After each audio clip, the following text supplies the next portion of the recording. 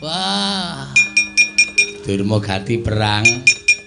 belang man. Heeh. Temu sapa? Wangsa Reja. Sapa? Wangsa Reja. Wangsa Reja ki Anake welku dolo cek balep. Antarja. Wah, Antarja. Heeh. Kula antem dadane gak apa-apa. Weh. Barang dheweke klida, Heeh. kula di anu pidak cikil kula, Apa? Dipidak cikil kula man. Nyet ngonten disikut cangkem kula cuciin. Hmm.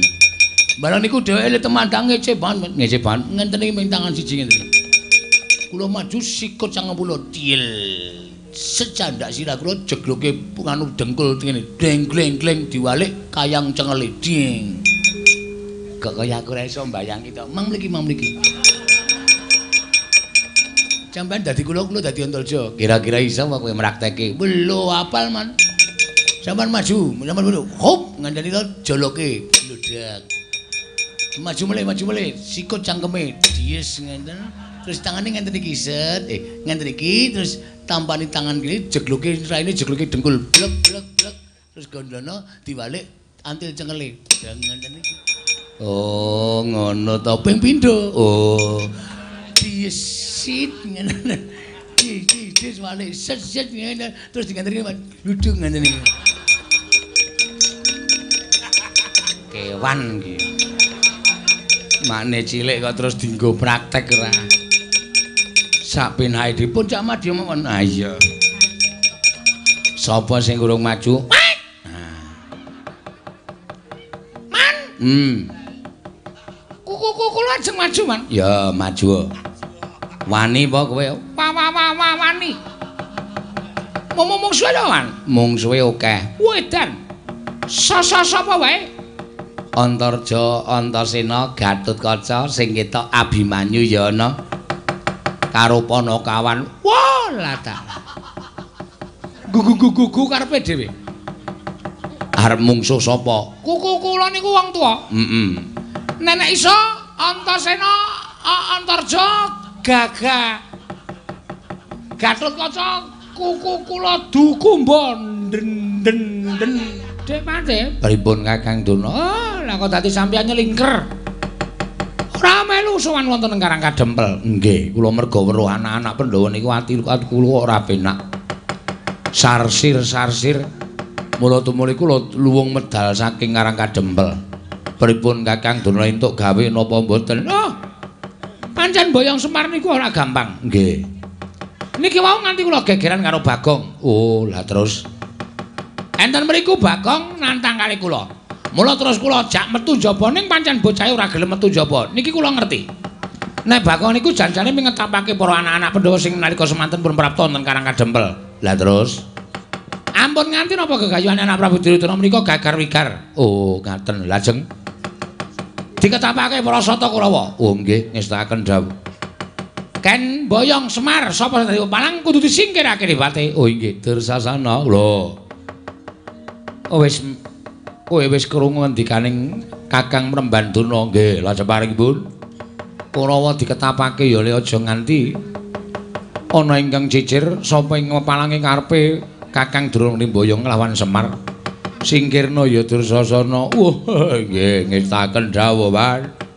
Ayo ora ketang kelungsu, kelungsu nek melu padha budal. Iso ae kula dherekaken Kakang Mas Moha, Mas kula dherekaken.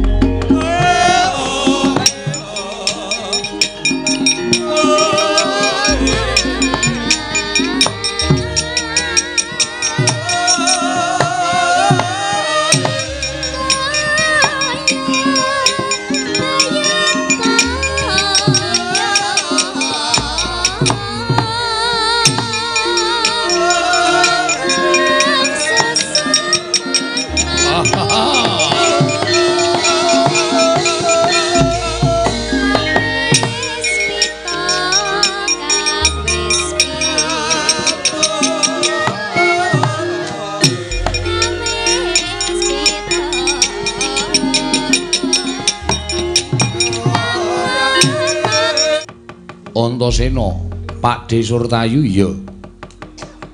Lah kok dadi kowe ngaglah ning dalan. monggo sing ngendikake Bekawan Durna yen to Bagong ingkang wani nyentulani rembuking bapa penemban Sukalima. Bagong pasrah karo aku, Pakde. Perkara tentreming Karang Kadempel dipasrah karo anak-anak Pandhawa. Nek Pakde Kurawa arep mboyong karo ya kuwi kakekne Semar, aku sing ora ngeparangake lan aku sing ora ngiklasake. Mergo kakekne Semar lagi duwe gegayuhan yo bakal mbangun desa Karang Kadempel. Mula saiki Pakde kundur. Lho, bali piye? Baliku kudu mboyong marang Semar Badranaya. Nek ngono Pakde arep nekat ora wira-wira antas malang-malang bakal tak putung. Ya, wis tak antepi pancen kudu dadi pasulayan. Ning nyun ngapura lho Pakde nek kira-kira anak-anak Pandhawa kurang ajar karo para pepunden Sata Kurawa. Ora usah dadak duwe rasa ewuh, pekewuh. Ayo. Gage. Bubarno para sata Kurawa. Nyuwun pangapura nek aku kurang tata krama karo Pakde-pakdeku Kurawa.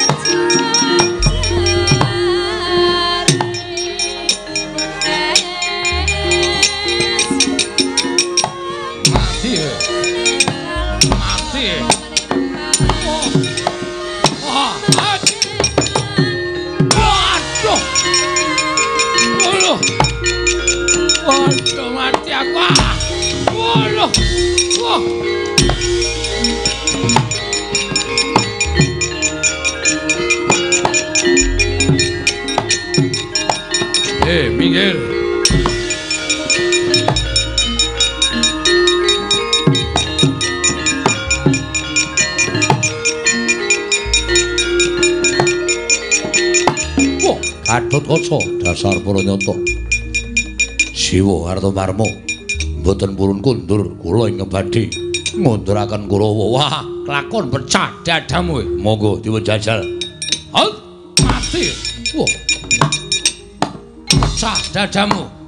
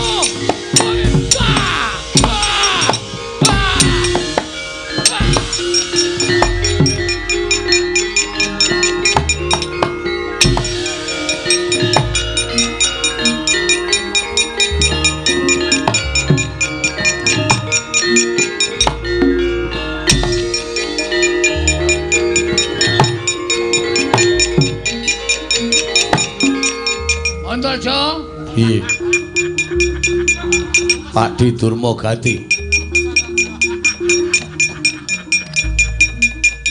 Cemal tak jaluk. Ora bakal tak wenehake. Kelakon mati dening aku. Ayo. Ngejauh apa tak wujudi. Wah, lah pancen bocah. Kula kena dikandani kanthi becik-becik. Kelakon tiban tanganmu. Hmm, Eh, tiban tanganku ngendi tanganmu. Melocot silang. Ayo tibano. Mati ae. Ae. Wedan. Tanganku keju-keju ento, Jo. Modal ae.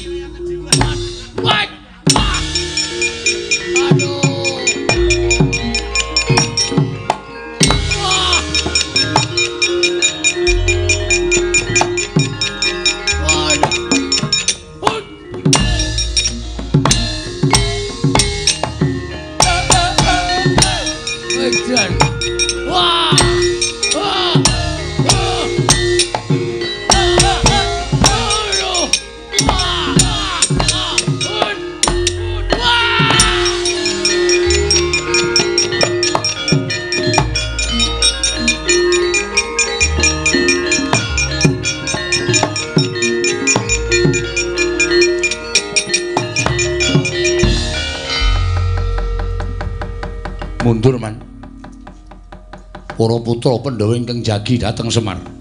Menawi kula kalian paman tetep badhe maju, menika mangke malah kirang-kirang benjanipun wonten kurban. Kula semanggaken. Kese-kese, sertayu wonten dawuh. Mungsamu sapa? Antasena man. Weh, lah ora pati nduga man. Tenan to wis tak bedhene anak-anak Pandhawa mesti melu ngayomi karo Semar. Mundur-mundur. Iya. Kono ngaso kono. Iya. Bejah kula man. Mungsuhmu sapa Kartomarma? Anak kula pringgondani Gatut Kaca. Nyamber ngiwa, nyamber nengen. Sampluki sirah kula kan. Kula semanggaken. Dheweke iso mabur, ora iso mabur, li temandang sak penake dhewe. Sikile nendang ngiwa nengen, nendang nengen, ngiwa nengen, ngiwa nengen. Ha iya, karang ya trampil kok Gatut nggih. Wah. Durmagati perang. Pelang, Man. Heeh. Temu sapa? Wangsa Leja. Sapa? Wangsa Leja. Wangsa Reja ki Anake welku dolo cek balep. Antarja. Wah, Antarja. Heeh. Kula antem dadane gak apa-apa. Weh. Barang dheweke kelida, Heeh. kula di anu pidak cikil kula, Apa? dipidak cikil kula, Man. Nyet ngonten disikut cangkem kula cuciit. Hmm. Barang niku dheweke le temandang ngeceban, Man. Ngeceban. Ngenten iki ming tangan siji ngenten. Kula maju sikut cangkem kula tiil. Secandak sirah kula jegloke anu dengkul ngene, deng gleng gleng diwalik kayang cengele ding. Kok kaya aku ora iso mbayangi to. Mang mriki mang mriki. Sampeyan dadi kula kula dadi Antarja. Kira-kira iso apa kowe mraktekke? Belo apal man. Sampeyan maju, sampeyan maju. Hop, ngandani to joloke bludak. Maju mulai, maju mulai. Sikut cangkeme dies ngenten. Terus tangane ngenten iki set. Eh, ngenten iki terus tampani tangan kiri jegluke raine jegluke dengkul. Blek blek blek. Terus gondono diwalik antil cengele. Dang ngenten iki. Oh, ngono to ping pindho. Oh. Diesit ngenten. Di di di walik set set ngenten. Terus ngenten iki ludung ngenten iki. Kewan iki. Makne cilik kok terus dienggo praktek ora. Sak penahe dipun cak madya mawon. Ah iya. Sapa sing urung maju? Man. Hmm. Kuku-kuku kula ajeng maju, Man. Ya, maju. Wani apa kowe? Wa wa wa wa wani. Mung suwe to, Man? Mung suwe akeh. Wedan. Sasa sapa wae? Antarja, Antasena, Gatotkaca sing ketok Abimanyu ya ana. Karo Panakawan. Wah, lata. Gugu-gugu karepe dhewe. Arep mungsuh sapa? Kuku kula niku wong tuwa. Heeh. Nenek iso Antasena, Antarja, Gaga. Gatotkaca kuku kula dukumba den den den den kok malah montor to kula dukumba ndase anak Pandhawa pira-pira kula pateni kabeh maju kukuku kula terus mingke wae tantangane ya maju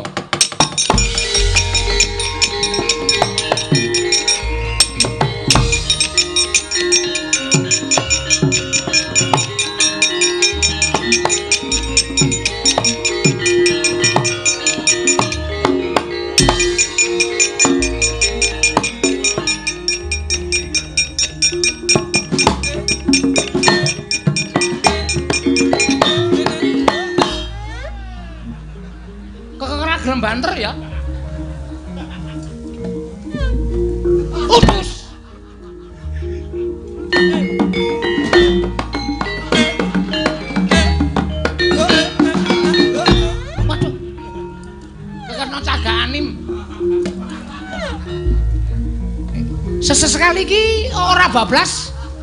Pokoke sak entuke korban. Gegagatot kaca ya gelem.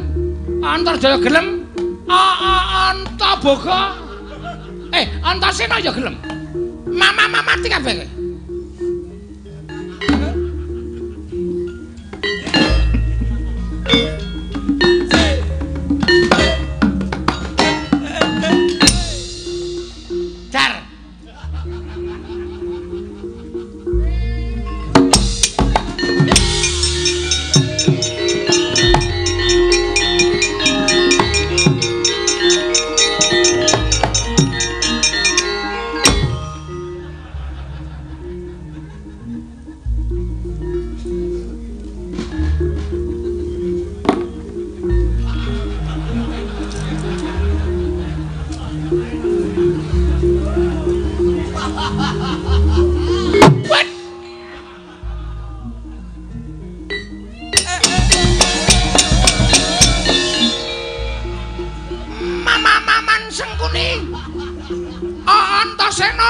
Gugur. Gugur.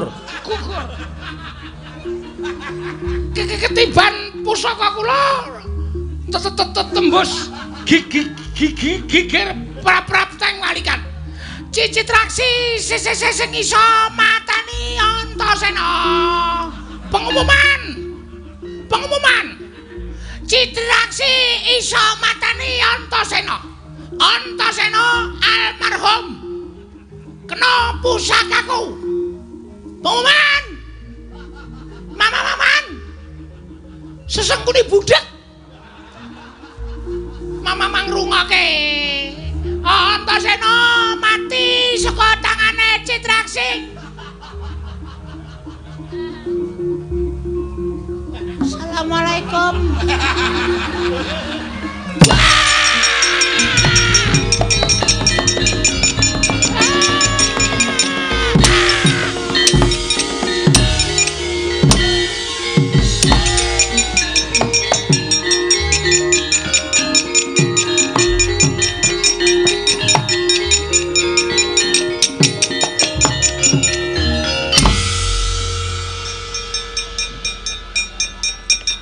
tak sembodo karo ling gleleng. Cit. Cit. Piye mau bengak-bengok pengumuman apa ya, Cit? Aku kok ora patek nggatekke. Basikur. Waduh. Kok lambene ngemu getih kaya ngono? Mememan. Hmm. Sa sa sa sa sampean weruh. Sa sa sampean weruh. Kuku kula mateng, Maju. maju. Heeh. Nggo nggawa pusaka. Weh. Pusaka tinggalane putu kula. Piye to cah iki? Tinggalane mbahmu. Mbah-mbah kula. Heeh. Pusaka kula tumpake teng gendhewa. Heeh. Pusaka kula mbat-mbat. Iya. Kula culke ke- ke- ke- kebat kaya kilat. Kesit kaya silit. Katet. Katit. Cul. Heeh. Ke ke ke ke- kena dadane Antasena. Oh, Kuku kula joget seneng banget. Nantun nantun nantun tak jeng jeng jeng jeng. ketoke kendangane ora ngono ki, Mas. Kuku kula wis lali. Ha iya. Nantun nantun nantun nantun pokoke kula kuku kula seneng. Saman saman krungu kula bengok-bengok. Krungu. Pengumuman Antasena mati. Kena pusakaku Terus, bareng kuku kula balik. heeh. Niku tangane Antasena codap nyekel gulu kula cek. Terus kowe? Kuku kula wis njaluk ngapura karo sing kuwasa. Lah sebabe? Ra urung mati. Ha iya. Jojo kanggo jemparing trai kula man jliar. Kuku kula kejek-kejek. Heeh. Dene kula candhane kula jreng jreng jreng jreng dumbulke sabetke sakayake prol Tiba. teng son kontrol. Oh. Apa? Son kontrol. Heeh. Terus teteng mriki niku Oh, ayo mulane ora sok aleman.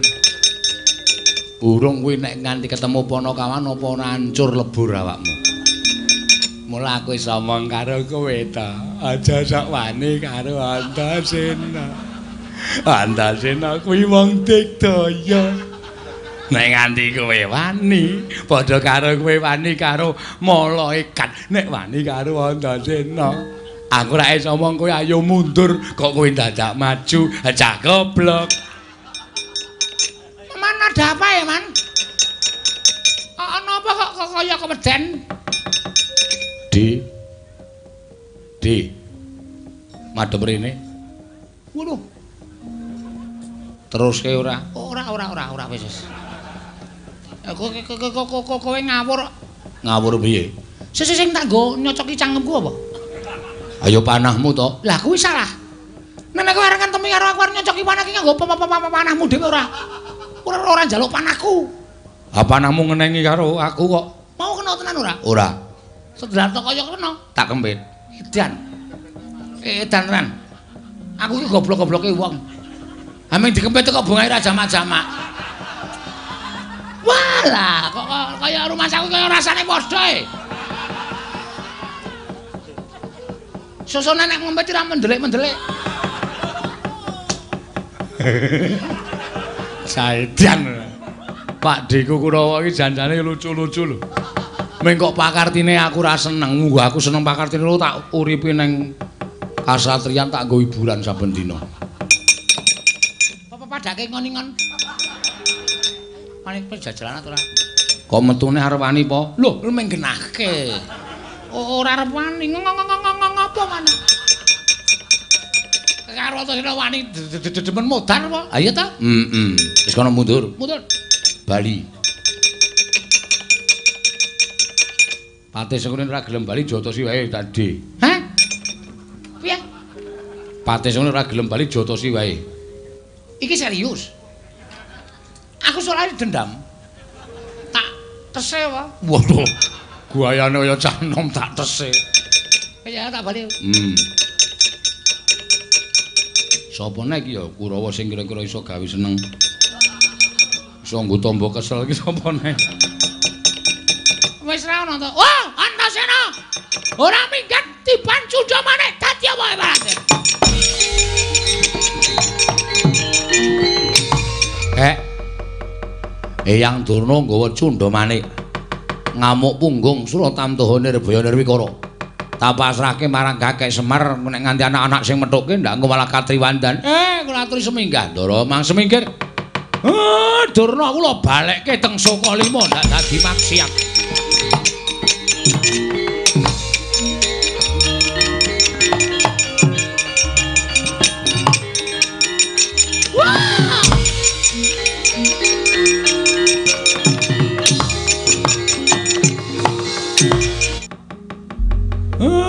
Pun katon padhang kahanan karang kadempel. Ya kek. Lah niki kula njaluk kesaguhan sing pun menate mangendikake sing endi sing sampeyan iso ngrawuhake napa? Dadi syarat srana nggih kula bangun karang kadempel. Ya nek pancen ngono aku njaluk pamit aku tak nganti adikku wis anggeni. Sowan siwa Dhuwurawati nembung Sekar Cangkuk Wijayamulya eh, nggih menika malah prayogi. Siwa Semaraku nyuwun pamit tak nganti adikku Abimanyu. Budal sowan marang Praja Ngamarta nyuwun pustaka jamu semyang jimat lima sodo. Siwa Semaraku nyuwun pamit tak budal ning Mandura nyuwun pusaka kae Nenggala lan Alugara. Ah, matur nuwun, matur nuwun.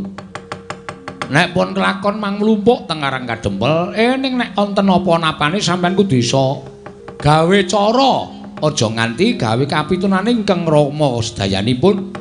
Neng sing wigati pusaka saged rawuh wonten Karang Kadempel. Njaluk pangestu ya, Kek. Eh, nggih ngatos-atos. Siwa Semar nyuwun pangestu. Eh, Den. Ya, Siwa Semar nyuwun pangestu. Eh, muga-muga kesenggatan penjangka kula, Ndara.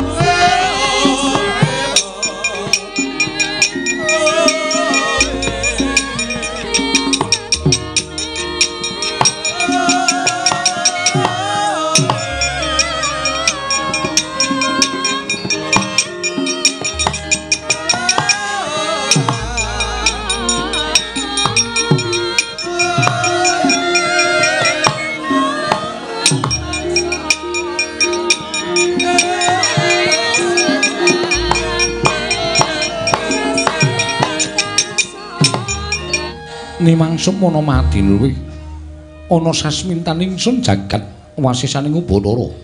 Setyaki wonten timbalan Kakang Pati Udawa wonten timbalan Diweji Prayoga nunggone ro ngadhep sawetara. Iki ora panglingkaya ana sowane anakku lanang Drepsila geni lawan anakku lanang ngrandu gumbala. Wis anggeni padha raja sak praptamu nggih pinayunganing kawidadan po aku ngaturke begitu katur ya iya. Cah bagus ndak tampa ora liwat pangestu ning wakmu Indrawati tampan ana ndak gegem dadiake jimat. Antasena ora harjo. Cah bagus. Selamat tek aku Pak Di aku ngaturke begitu katur ya Pak Di iya iya. Antasena ndak tampa ora liwat. Pangestu ning wakmu Indrawati tampan ana ndak gegem dadiake jimat. Kulup atmajaku sakarone apa to ing dadi darunane dene sira sowan mongko tanpa tinimbalan? Apa ana wigati? Apa ana perlu saka pepundhenmu Pandhawa ingkang sira aturake kalawan Wakmu Indrawati sepisan ngaturake bekti katur ya wa. Ya. Wis anggene tak tampa dene dongkap ing ngangka loro. Prataku ning negara Ndrawati sowan kersane Kanjeng Ndrawati mau sayekti ora kok para Pandhawa ingkang utusan. Nanging aku pancen diutus nanging dudu punden Pandhawa ora ana li kejaba mung Siwa Semar Badranaya. Lho, Kakang Semar, iya wa. Lah wigatine apa? Dene Kakang Semar utusan lawan Ratmajaku sakarone marata gage matur ingkang tetela. Ngene ya wa. Nalika semono aku kuwi ngimpi. Jroning pasumenan mau aku weruh Kakang utawa Siwa Semar Badranaya mangku Sang Hyang Candra sumarot cahyane. Nanging ora mblerengi. Wekasan sapa ing cedhak lawan Kyai Semar dadi kedunungan sorot ing mapan ning anggane sapa wae ing cedhak lawan Kakang Semar. Eh eh eh, ngono nggih. Iya. Tumuli aku nganti lawan putra-putra Pandhawa sak petara. Sowan marang Karang Kadempel nanjake marang Kakang Semar Badranaya utawa Siwa Semar. Apa to sababe lan werdine impen mau? Lah kok jemel ndara dasih Ipen ingkang nak lakoni wa ketitik Siwa Semar Badranaya bakal duwe gawe. Ila dala. Kakang Semar bakal duwe gawe. Iya wa. Lah duwe gawe apa nggih wis anggeni? Ora kok duwe gawe tegese pribadining Siwa Nayantaka dhewe nanging Siwa Semar bakal duwe gawe ya kuwi mbangun desa Karang Kadempel. Tumuli aku nglawan para putra. Sago sak kelawan Siwa Badranaya. Jernyatane Siwa Semar gedhe lelabuhane tumraping para putra lan pepunden Pandhawa. Mula ora ana ilang yen to aku kelawan para putra kabeh bebantu marang botripoting Siwa Nayantaka. Ya, wis anggene kuwi bagus. Kuwi apik lan becik. Awakmu Ndrawati rumajang. Nanging nalika semono Siwa Nayantaka tumuli paring dawuh. Bakal kelakon penjangkane ya kuwi nggone bakal mbangun desa Karang Kadempel nanging ana syarat srana ingkang kudu dilakoni dening Siwa Nayantaka. Tanana ya kejaba mung. Karang Kadempel ora ketang amung tulung kedheping paninggal kudu. Linenggan pusaka Ndarawati ya kuwi Sekar Wijaya Mulya. Mula wae gandeng para putra ing pandhegan anakmu Drepsila geni iki wis sago mbantu marang Siwana Yantaka tumuli aku tinuding mbudidaya sarta matur marang kenjenengane Wandarawati muga kepareng nggalih aku nyuwun Sekar Wijaya Kesuma bakal tak boyong marang Karang Kadempel mengko yen wis rampung nggone Siwana Yantaka mbangun desa tak kondurake marang negara Ndarawati Siwa Ndarawati Siwa Prabu Kresna wis anggeni ana dawuhmu apa wa? Ya bener. Kakang Semar kuwi pancen pengayomaning para Pandhawa, Kakang Semar kuwi pancen ingkang ngomong anak-anak Pandhawa. Mula ora jeneng aneh yen to wis anggene tumuli anyaguhi dituwongkon dening Kakang Semar. Supaya nyuwun ngampil pustaka Jamus utawa nyuwun ngampil Sekar Wijaya Kesuma. Nanging kowe kudu eling, Gil. Semar kuwi namung derajate ngaceplik, Semar kuwi mung ponokawan. Semar kuwi mung batur saumpamane. Lah kok dadi kebangetan nggone ngasorake marang Ratu Ndarawati. Apa dianggep Sekar Jayamulya kuwi wujude pusaka ingkang loro saudon telu saurupan. Tegese dudu pusaka ingkang ampuh. Lah kok dadi ngatasi ping pengin bangun desa wae dadak nganggo dirawuhi pusaka Ndarawati kuwi Sekar Jayamulya.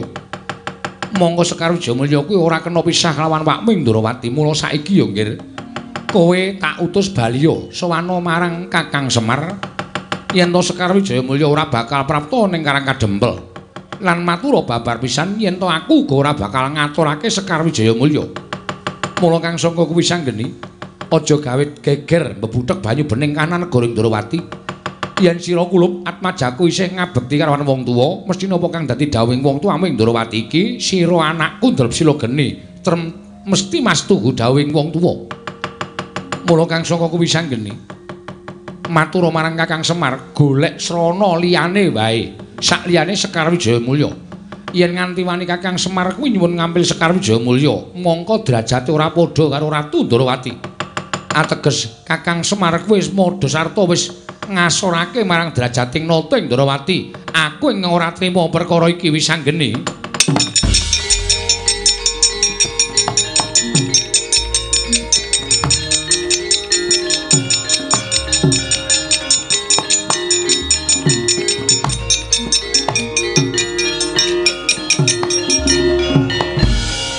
Nuwun sewu ya, Dik.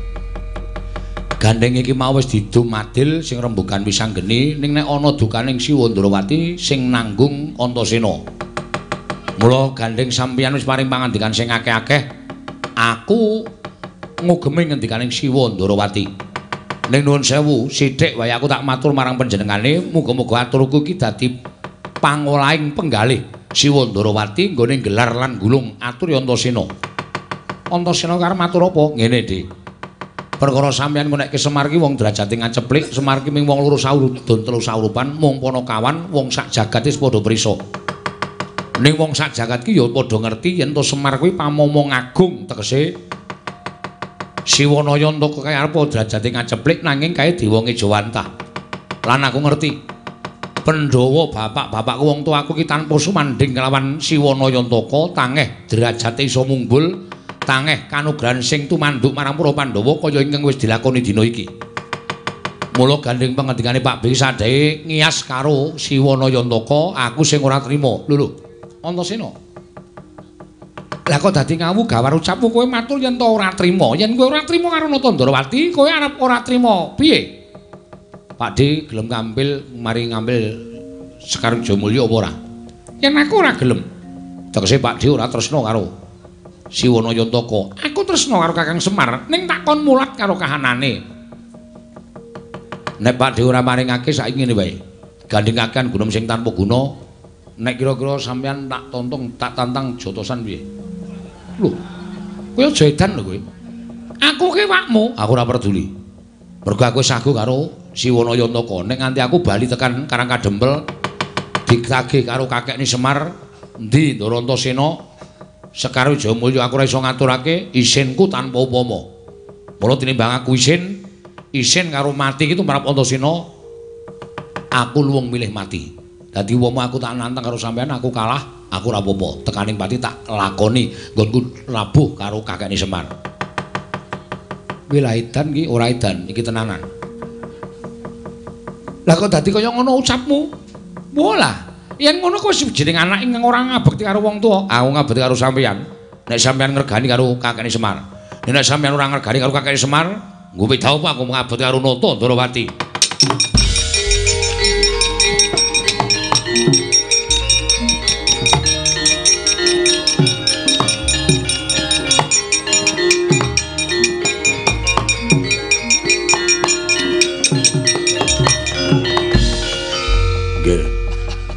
Ingkang dados senopati wonten negari Ndrawati menika kula.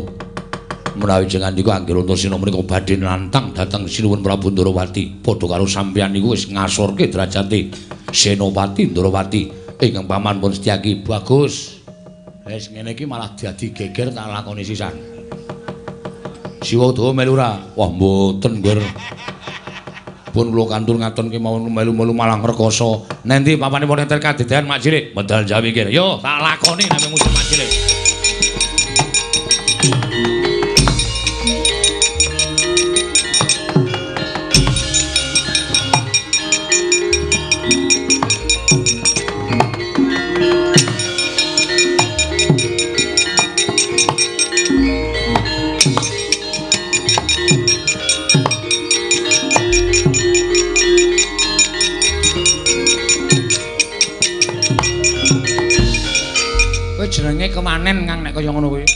Lah piye? Lah kok dadi ki malah dadi gegeran ki piye? Paman Setyaki ki pepunden. Lah kok dadi tok tantang metu njaba? Ah jengkel aku kowe iki omongan ora rampung-rampung kok. Aku nek omongan rampung-rampung ki rasane kaya gemes kae lho. Wis ngene iki siji-sijine cara supaya aku iso mboyong Sekar Wijayamulya. Lah iki mengko nek nganti Siwa Ndarawati ki wadul karo bapakmu coba. Werkudara Antasena wani karo aku gawe rusak Ndrawati wani karo pamane Garbaruji. Wah, rasa ditiroke. Wagu nyiroke. Antasena idak-idak upamane ngono piye yo? Ora kriwikan dadi grojokan gogyo dadi angsan to? Lah terus piye aku nanut kowe? Kowe meneng wae. Sekar jamu kusuma tak colonge jarane. Wis manut aku.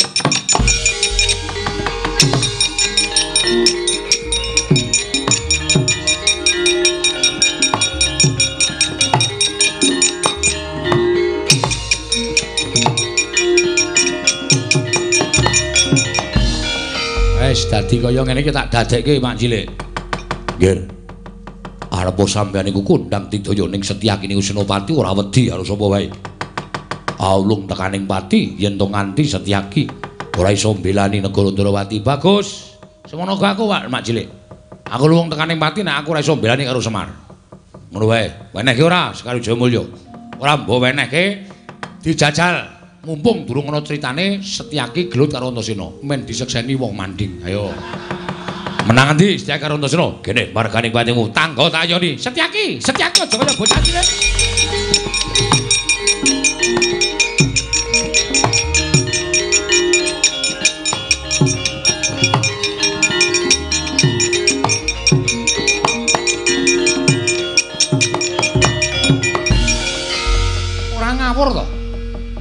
Setyaki iki wong tuwa. Inggih. Nanging kula ngreksa dhateng asma panjenengan.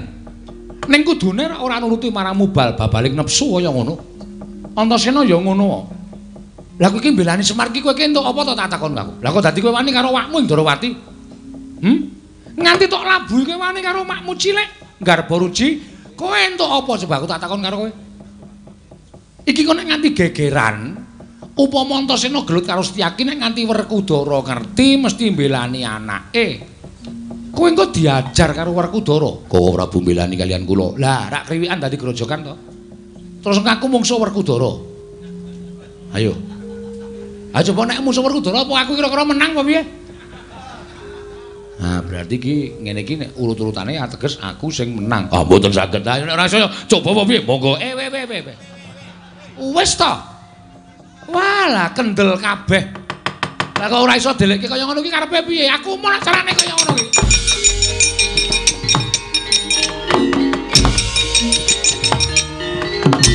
Loh. Wela dalah.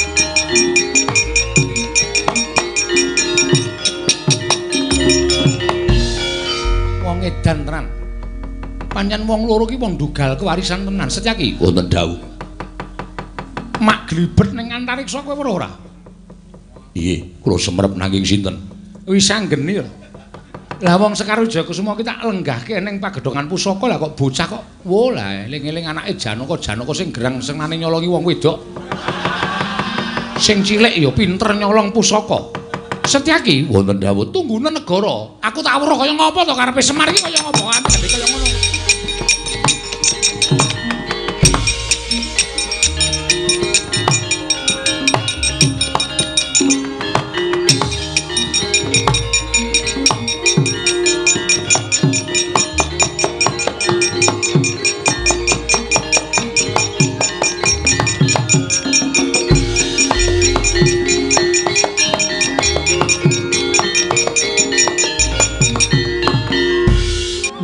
Janaka wonten timbalan Koko Prabu Werkudara Iye. usawetara dadi penggalianing pun ngakang pendak-pendak Pandhawa mlumpuk ana ing Praja Ngamarta. Lah kok dadi ora katon putramu Werkudara ingkang katon sowan ing Praja Ngamarta. Malah piranganing putra ing Madukara ndak pespadake. Ora ana suwaning si Abimanyu. Arjuna putraku menyang endi? Koko Prabu. Sampun sawetawis sugi kula mboten sumerep dhateng putra Waduka pun Abimanyu. Malah sak mangke jaring para Nayaka ing kasatriyan Tanjung Anom bilih Abimanyu sak mangke mindhan saking negari utawi kasatriyan Tanjung Anom semono uga. Wah, Antarja Gatot lan Antasena uga ora sowan ana ing Jodipati. Aku dhewe ora ngerti menyang endi dunune anak-anakku. Ning gandeng tumrap aku, Antarja Gatotkaca lan Antasena kuwi bocah nom sing lagi rumagang. Mbok menawa ana bab lan ana perkara sarta nedhengi lagi seneng srawung kalawan kanca-kancane sak barakane mbarep kakangku. Dereng ngantos paripesame Mbal Wacana. Kasarusaning Raden Abimanyu sumawana Raden Gatotkaca dumraja tanpa lalapan. Abimanyu ana wigati apa dene sowan tanpa tinimbalan lan nembe wae dadi rasananing para pepundhenmu Pandhawa. Inggih, Wa Prabu. Sewu kalapatanipun ingkang putra ing Tanjung Anom, kula nyuwun pangapunten. Krana sawetawis wekdal kula mboten sowan wonten Praja ing Amarta. Krana nderekaken sangganing para kadang ingkang kapandhegan dening kadang kula pun Yayi Wisanggeni. Sowan dhateng Karang Kadempel. Inggih menika hamba bantu dhateng bot repotipun Siwana Yantaka. Kakang Semar Darbi gawe apa kulup netepi dhateng menapa ing sampun sinasmitakaken dewa tumraping kadang kula pun Nyayi Wisanggeni. Bilih Siwana Yantaka wonten salebeting pasumpenan katingal mawa cahya tuwe namangku Sang Hyang Candra. Kumunten Kyai Semar badhe gadah damel mambangun desa. Namung kemawon wonten syarat srana ingkang kedah linampahan. Apa syarat sranane nggir putraku Tanjung Anom? Mboten sanes kejawi namung ingkang putra pun Abimanyu dinuta dening Kyai Nayantaka supados nyuwun ngampil pustaka jamus miyang jimat kelima Sadawa.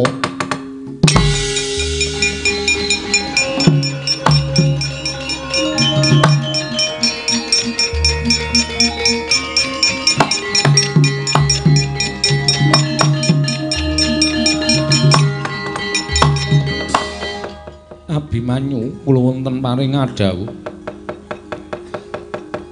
Apa kira-kira Kakang Semar mestine ora bakal nambuhi babagan pustaka Jamus Myang Jimat kelima sada? Yen to pustaka Jamus kelima sada kuwi pusakaning para Pandhawa, kuwi panguripaning kawula sak negara Ngamarta. Monggo ing atase Kakang Semar mung butuh kepengin bangun desa wae lah kok dadak abot temen syarat sranane kudu mboyong marang pustaka jamus yang jimat lima sodo kulub atmajaku bocah bagus. Mula bali marang karang kadempel matur marang kakang semar. Yen to pandhawa ora keduga ngaturake pustaka jamus yang jimat lima sodo nanging bakal ndak pusaka lamun kakang semar bisa ngendikake apa to ing dadi gegayuane dene dadak mbutake pustaka jamus myang jimat lima sada kulup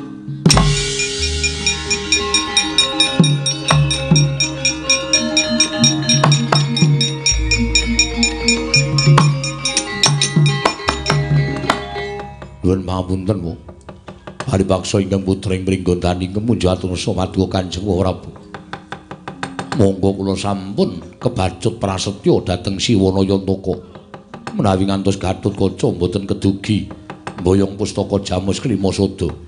Sak mangke badhe tetel kasatriyan kula dene kula sampun sumpah prasetya parandiri mboten saged linampan. Mrenging saking menika kepareng mboten kepareng kula badhe nyuwun pustaka Jamus Klima Sada.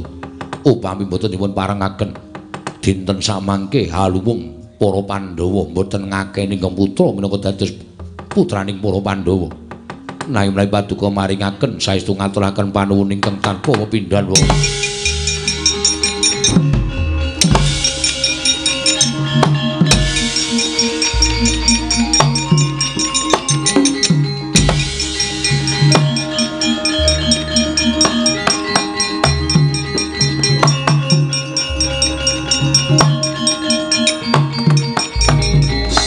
Sedewa wonten maring adawuh sira siadyaja nganti wedi kangelan pisan ingkang padha bondo yuda aku ora kepengin kawula negara ngamarta weruh werkudara ngajar lawan anake janaka milara kelanat pajaning si abimanyu sedewa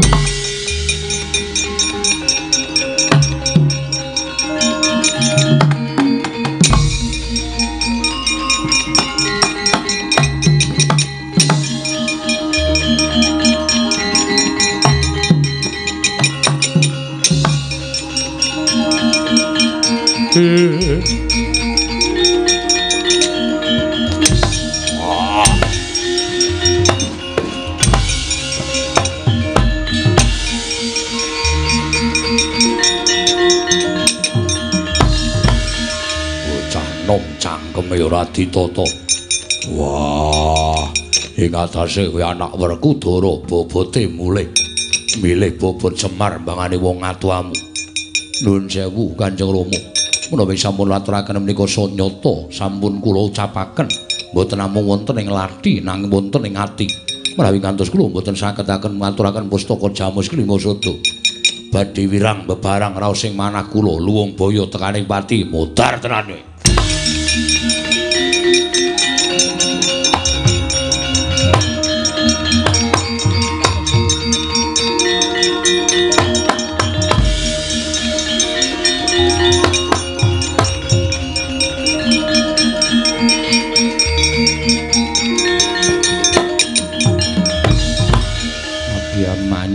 anakku cah bagus. Abimanyu anakku. Aja banget banget nggonmu gawe wirang marang wong tuwa. Kanjeng Prabu kuwi sesemban. Wong atuamu, Koko Prabu Puntadewa kuwi banget. Ndak aji-aji, lah kok dadi wani kowe. Matur ingkang kaya mengkono padha karo kowe ngorek-orek marang pasuryaning wong gerak.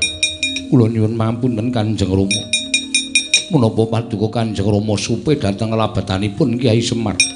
Ingkang tansah momong dhateng jengandika Kanjeng Rama sarta angulataken dhateng Maduka ngantos sak mangke Paduka jejer minangka dados langing jagat lan curing bawana menika mboten merucut kaliyan labetanipun Kyai Semar Badranaya mulang karo gerangan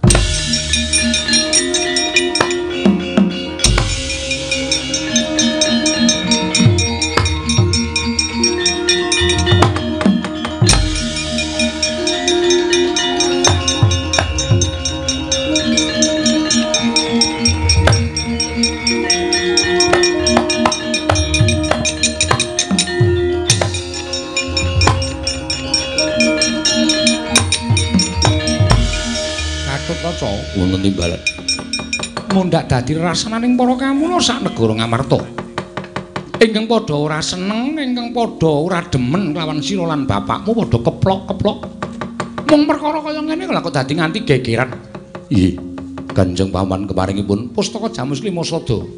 Nadyan tanpa dingerteni dening Kanjeng Koko Prabu Puntadewa nanging tak pundhut saka ing pagedhongan pusaka Parwaduka gawanen aturna Kyai Semar. Kanjeng Rumulan Kanjeng Paman. Aku mengko sing ngurusi wong tamu mbok Garukaca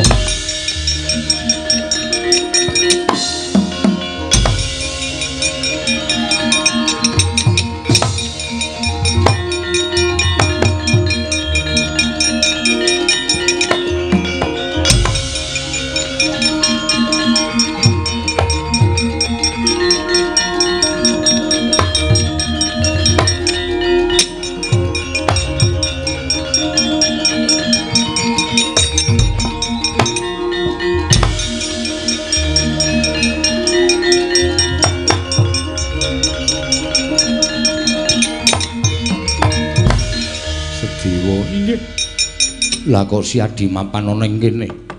Mugi andhatosna ing kamuningan. Sedaya sampun dipun dawaken dening Kanjeng Koko Prabu Puntadewa kula nyekedah ngrampungi perkawis menika. Krampungane piye? Pustaka Jamus ki maksud kula aturaken dhateng putra Kamas. Wah, ora edan. Ya aja ngapusi alur Kutara. Mboten. Malah samangke galu kecelakaan pun Abimanyu sampun wangsul dhateng Karang Kadempel. Wah, jlampruk to ya. Monggo kula dherekaken.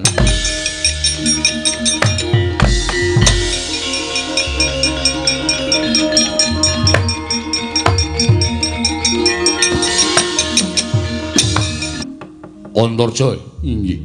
Kula ingkang sowan wa. Parang aturaken sembah pangabekti kula kunjuk. Ya, tak tampa gawe gedhening atiku ora liwat pangestuning awakmu Mandura Tampanono. Kula menika jimat paripe dayaning kasantosan. Piye? Hmm? Ana apa lah kok dadi janur gunung kadingaren? Sirat majakun jangkar bumi sowan ning negara Mandura. Sepinten kalepatanipun ingkang putra Tadah Wadana. Apa pancen sowanmu diutus karo wong atuamu apa ditutup punden Pandhawa? Apa saka arepe anakku lanang dhewe? Ih, sewu-sewu kalepatanipun ingkang putra Tadah Wadana. Mugi andadosna ing kawuningan wa sowan kula menika mboten saking pikajengan kula piyambak. Namung dapur dipun utus dening Siwana Yantaka. Lho, Semar Badranaya. Ih, kasinggihan mekaten. Eneng apa? Nalika semanten kula nderekaken sanggaring para putra Pandhawa ingkang sampun nampi sasmita bilih kinen caket kaliyan Kyai Semar. Sabab sak mangki wonten madyaning pasumenan Kyai Semar kadidine amangku sang Hyang Rembulan wekasan raganipun Kyai Semar mencoro mawa cahya. Tumunten sinten ingkang caket kaliyan Kyai Nayantaka. Badhe katularan. Sing inggih menika sorot ingkang mapan wonten angganipun Kyai Semar. Wekasan tumunten kadang kula pun nyayi wisanggeni. Ngirit para kadang sedaya prapteng karang kadempel jebul nyatanipun Kyai Semar badhe anggayu utawi badhe ambangun desa namung mugi dados ing kawuningan wo sedaya ingkang dipun tindakaken Kyai Nayantaka menika mboten badhe saged kelampah tuwin mboten saged kasembatan menawi mboten saking pambiyantripun Padukawa Mandura lah terus aku tuh piye Paduka Prabu kedah maringaken ngambil pusaka Mandura. Lho, pusaka Mandura apa? Kiai Nenggala Twin Kiai Alugara. Kula suwun ngambil badhe syarat sono pembanguning pembanguning desa Karang Kadempel Siwa Mandura. Nenggala Alugara kasinggihan mekaten.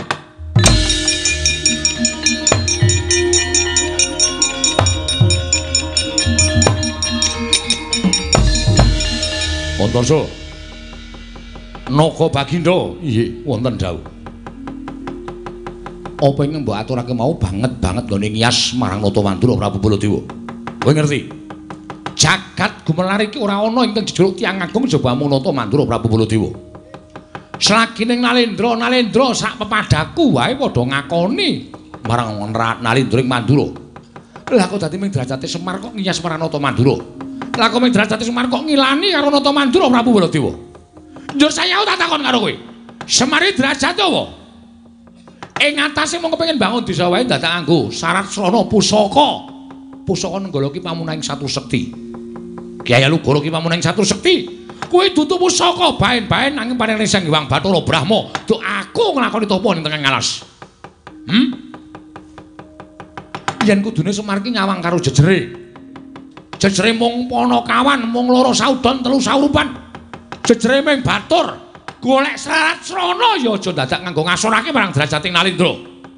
Yen kaya ngono kuwi tak anggap Semar kuwi ngina karo Nata Mandura. Semar kuwi ngece karo Nata Mandura. Antarja.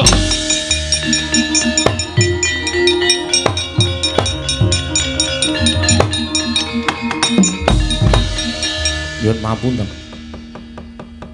Bebasan sampun ngantos kok namung prapteng antaka nadyan dados bledug raganipun Antarja trimah kula mboten wangsul wonten ing Karang Kadempel menawi paduka mboten maringaken ngambil wujudipun Kyai Nenggala lan Kyai Alugoro. Lho. Mekaten sampun dados prasetyaning manah kula. Wah, ladal jagat dewa pantri ngono kowe arep nyoba karo Baladewa. Yen ngono kowe ora wedi karo Baladewa. Ajri wae nek wedi bali kula mboten wantun wangsul langkung ajri kalian Kyai Semar. Menawi ngantos kula dipun dukani dening Kyai Nayantaka sebab sedaya sampun sami nyebat Kyai Semar menika pusaka ingkang bisa kandha jimat ingkang bisa ngucap bebasanipun idu dados geni. Menawi ngantos kula dipun sumpahi dening Kyai Semar menapa mboten nalungsa gesang kula. Yen ngono abot Semar mbane Baladewa. Nggih, nyuwun pangapunten paripawsa ketah mekaten iblis kowe.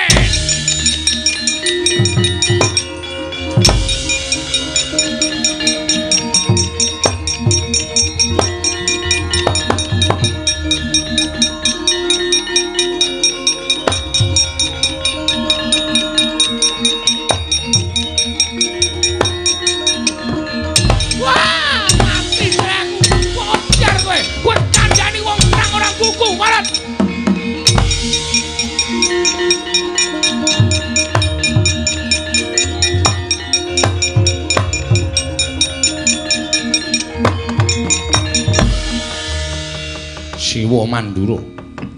Saya sepuh ora iso meper mubal babaling kanepsun. Mula sora Antarja sak gelem-geleme. Apa dianggep aku kalah karo sampean? Yen pancen sampean ora kena dikandhani, sampean ora kena dileremake rasane. Hayo. Tak ajangi jembar legane atiku Antarja ora bakal mundur. Padangi wani petengane apa meneh.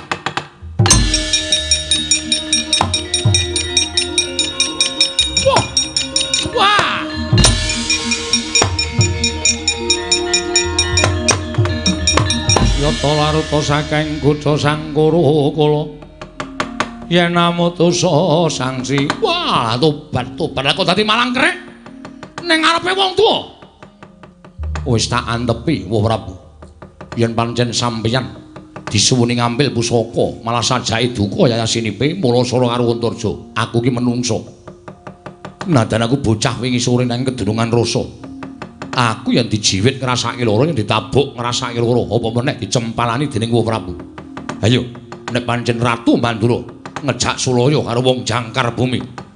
Tajange jembar legane ngatiku. Wah, panusmane jajalarat. Wani karo Ratu Mandura jaluk mati cara piye? Koko Prabu, Koko Prabu.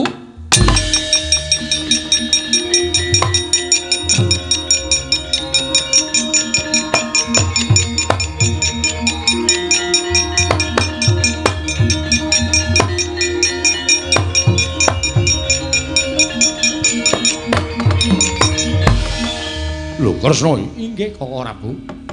Wah, panusmane jajalarat. Antarja kuwi kandhane lho, hm? Oh menungsa sing jeneng Antarja kuwi kandhane lho.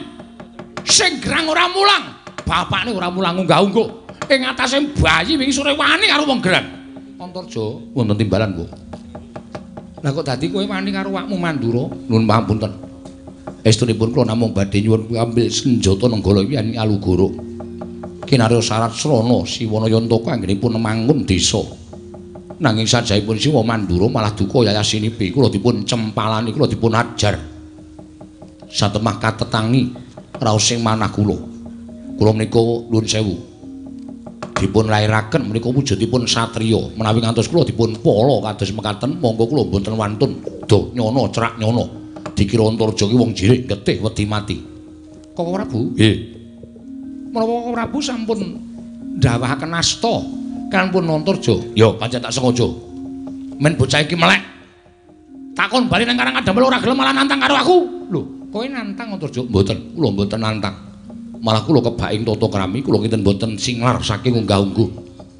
Nanging sajaipun Siwa Mandura menika ingkang nuwun sewu, mboten saged meper dhateng mubal babale kanepson pekasan. Kula dipun ajar Nuwun sewu, Wong Prabu Ndarawati menawi dados kula dipun dawahi asta utawi dipun cempalani dening Kanjeng Wong Prabu Mandura. Tartemtu panjenengan Udipati runtik penggalipun. Kok Prabu? He. Saenipun samangke tinimbang perkawis menika mboten rampung, kula nyuwun ngampil Kyai Nenggala kalan Alugara. Lho. Lho sing sing jelek iki jane sapa to? Semar apa kowe? Inggih, kula ugi nyuwunaken ngampil Kyai Semar. Kose to. Lah kok dadi kaya mengkono? Supados kula wonten rencangipun. Lho. Kancane piye? Sekar Wijayamulya uga dipun beto Antasena. Lho lak dikon Antasena rego ngopo? Ngendikanipun dipun utus Kyai Semar.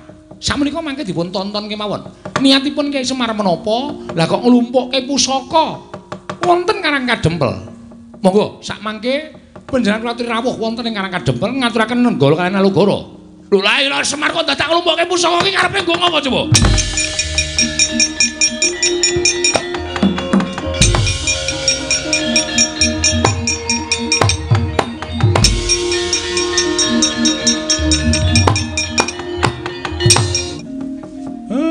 Ndarasena matur nuwun nggih. Iya, Kek. Padha-padha Ndara Gatotkaca matur nuwun. Iya. Siwa Semar. Eh, Ndara Antarja kok dereng ngaturake napa sing pun mangsanggupi. Anggen sampeyan kepengin utawi sagah ngaturaken pusaka. Siwa Semar nyuwun pangapura. Pusaka diasta deweni Kanjeng Prabu Mandura. Kok sik Kakang Semar, aku tak takon. Lah kok dadi werna-werna penjaluke Kakang Kayantaka? Ya kuwi manunggalake pusaka telu. Wijaya Kesuma, Pustaka Jamus Klimasada lan Alugara Kyai Nenggala. Eh, alugarane Kyai Nenggalane dereng ketok.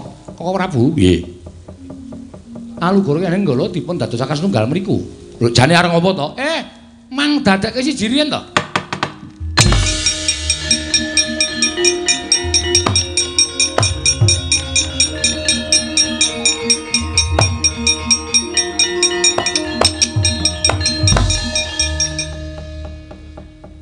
Dadi gatekke. Mbok menawa sudah payu mayang. Bisa dinggo lakone iki apik. Sedikit tapi bermakna. Heeh. Hmm. Bermaknane nggo napa ngandel. Niki pancen wis didhawuhi dening pukulun Sang Asih Prana. Oh, piye? Nganggo marsih, Asih kok marsih. Kudu dadekke setunggal niki eh nek cara sakniki kekuatan telu niku dadi siji terus mengko wonten sunar sing munggah wonten langit. Film modern ta. Kaya Terminator ta, Tru. Ultraman. Kok bayangke ngono kuwi kok bayangke. Oh iya. Eh pancen syarat niki dadi srana. Iya menika tumedhaking kanugrahan ingkang nami Wahyu Pamomong. Piye, Tru? Sip ta? Heeh. Duka kang napa sampeyan napa kula niki mung kari manut keparingi sing gawe jagat. Merga Pandhawa niku pamomonge wonten kalih. Sinuwun Darawati kalih Semar.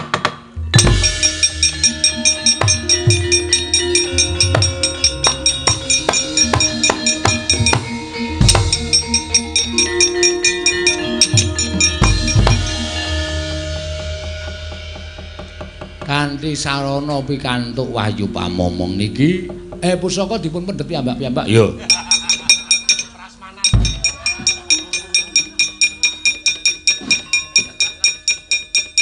Janowo pusaka digawa inggih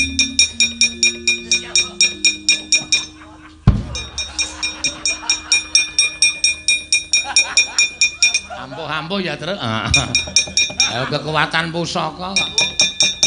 niki dadi syarat lek kula iso mbangun desa mergo wis sinampiran pakaran menangka dados pamomonging para kawula. Muga-muga mujudaken desa ingkang gemah ripah loh jinawi, ayem tentrem rukun niring sambikala bagas kewarasan tasah sinanding ndara.